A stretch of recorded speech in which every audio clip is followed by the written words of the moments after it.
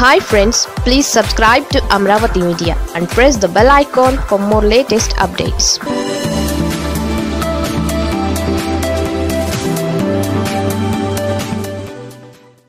Kuppam కోట కూల్చిన ఇరవై మూడు ఏళ్ళ యువతి. ఇంతకీ ఎవరి అశ్విని? ముఖ్యమంత్రి వైఎస్ జగన్మోహన్ రెడ్డి సారథ్యంలో రాష్ట్రంలో అధికారంలో ఉన్న వైఎస్ఆర్ కాంగ్రెస్ పార్టీ ప్రభుత్వానికి జనాదరణ ఏమాత్రం తగ్గలేదనే విషయం మరోసారి నిరూపితమైంది.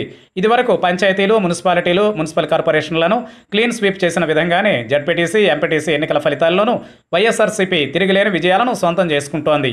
అన్ని జిల్లాల్లోనూ వైసీపీ ప్రభంజనం కనిపిస్తోంది. అధికారంలోకి వచ్చి రెండున్నరేళ్ళ తరువాత కూడా ప్రభుత్వ వ్యతిరేక పవనాలు ఏమాత్రం వీయట్లేదనే విషయాన్ని ఈ ఫలితాలు స్పష్టం చేస్తున్నాయి. కుప్పం చిత్తూరు జిల్లా చివరన ఉండే ఓ నియోజకవర్గం మూడు రాష్ట్రాల సరిహద్దుల్లో ఉండే ఈ అసెంబ్లీ నియోజకవర్గం ఇప్పుడు మరోసారి వార్తల్లోకి ఎక్కింది. లోక్సభ మొదలుకొని పంచాయతీ వరకు ఏ ఎన్నిక జరిగినా అందరి కళ్ళు ఈ నియోజకవర్గం మీదే ఉంటాయి. దీనికి కారణం తెలుగుదేశం పార్టీ అధినేత మాజీ ముఖ్యమంత్రి చంద్రబాబు నాయుడు. ఈ స్థానానికి ప్రాతినిధ్యాన్ని వహిస్తుండడమే. పంతొమ్మిది వందల ఎనభై తొమ్మిది తరువాత ఈ నియోజకవర్గం నుంచి చంద్రబాబుకు తప్ప మరొకరికి స్థానమే లేదు ఇక్కడ రెండు వేల పంతొమ్మిది అసెంబ్లీ ఎన్నికల తరువాత చంద్రబాబు కుప్పం కోటకు బీటలు వారడం ఆరంభమైనట్లే కనిపిస్తోంది. అసెంబ్లీ ఎన్నికలలో తొలి రెండు రౌండ్లలో చంద్రబాబు వెనుకంజలో ఉండడం అప్పట్లో సంచలనంగా మారింది. వైఎస్ఆర్సీపీ తరఫున పోటీ చేసిన రిటైర్డ్ ఐఏఎస్ అధికారి చంద్రమౌళి తొలి రెండు రౌండ్లలో భారీ ఆధిక్యాన్ని కనబరిచారు. దీనితో హోరాహోరీ పోరు తప్పదనే అభిప్రాయం విశ్లేషకుల్లో కనిపించింది. ఆ తర్వాత చంద్రబాబు ఆధిక్యతలోకి దూసుకు వెళ్ళారు ముప్పై వేలకు పైగా ఓట్ల తేడాతో విజయం సాధించారు. నిజానికి చంద్రబాబు నాయుడు ముప్పై వేల ఓట్ల తేడాతో గెలుపొందడాన్ని ఆయన నైతిక ఓటమిగా భావించే వారి సంఖ్య కూడా లేకపోలేదు. ఎందుకంటే రెండు వేల పంతొమ్మిది అసెంబ్లీ ఎన్నికలలో వైసీపీ తరఫున పోటీ చేసిన చాలామంది కొత్త ఎమ్మెల్యేలు సైతం నలభై వేలకు పైగా ఓట్ల తేడాతో టీడీపీ అభ్యర్థులను ఓడించారు. పలువురు కొత్త ఎమ్మెల్యేలు చంద్రబాబు కంటే భారీ మెజారిటీని సాధించారు. కుప్పంలో చంద్రబాబు తొలి రెండు రౌండ్లలో ఓడిపోవడం ఆయన మెజారిటీ ముప్పై వేలకు మాత్రమే పరిమితం కావడంతో కుప్పం కోట బలహీనపడినట్లుగా భావించారు. కుప్పంలో తెలుగుదేశం పార్టీ బలహీనపడిందనే విషయం పంచాయతీ ఎన్నికల ద్వారా మరోసారి రుజువైంది. ఇదివరకు పంచాయతీ ఎన్నికలలో మెజారిటీ స్థానాల్లో వైసీపీ మద్దతు ఇచ్చిన అభ్యర్థులు గెలుపొందిన విషయం తెలిసిందే.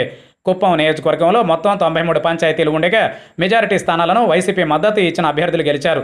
డెబ్బై చోట్ల వైసీపీ పన్నెండు చోట్ల టీడీపీ మద్దతుదారులు గెలుపొందారు. ఇప్పుడు తాజాగా వెలువడిన ఎంపీటీసీ ఎన్నికల్లోనూ ఇదే తరహా ఫలితం కనిపించింది. తెలుగుదేశం పార్టీ ఏమాత్రం పుంజుకోలేదనేది స్పష్టమైంది. కుప్పం నియోజకవర్గం పరిధిలోని టీ సదుమూరు జడ్పీటీసీ స్థానంలో వైసీపీ జెండా ఎగరవేసింది. ఈ జెండాను ఎగరవేసింది ఓ యువతి కావడం ప్రాధాన్యతను సంతరించుకుంది. ఆమె పేరు అశ్విని. ఇరవై మూడు సంవత్సరాల యువతి. టీ సద్దుమూరు ఎంపీటీసీ స్థానం వైఎస్ఆర్సీపీ కైవసం చేసుకుంది. వైఎస్ఆర్సీపీ అభ్యర్థిని అశ్విని పది వందల డెబ్బై మూడు ఓట్ల మెజారిటీతో విజయం సాధించారు. మొత్తం పన్నెండు వందల నలభై మూడు ఓట్లకు గాను అశ్వినికి పదకొండు వందల నలభై మూడు ఓట్లు పోలయ్యాయి. టీడీపీ అభ్యర్థికి డెబ్బై ఓట్లు మాత్రమే పడ్డాయి. ఇన్వాలిడ్గా ఇరవై ఏడు ఓట్లను గుర్తించారు. ఎలాంటి రాజకీయ నేపథ్యం లేని కుటుంబం నుంచి వచ్చారు అశ్విని.